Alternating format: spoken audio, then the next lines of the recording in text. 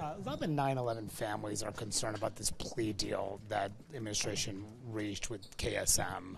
Uh, are you concerned about this plea deal? I am very concerned about this plea deal, and I think we ought to scrutinize it very carefully.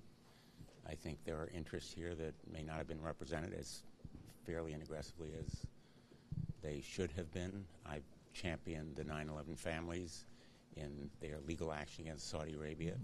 There is so much here that we don't know, and we have an obligation to tell the American people about the potential complicity not only of these defendants but of Saudi Arabia and other countries. Have they, the administration given you any explanation to this yet? No explanation whatsoever. And they owe me and Congress an explanation, but more important, they owe the 9 11 families and the American people. When you say scrutinize it, what exactly do you think you could find?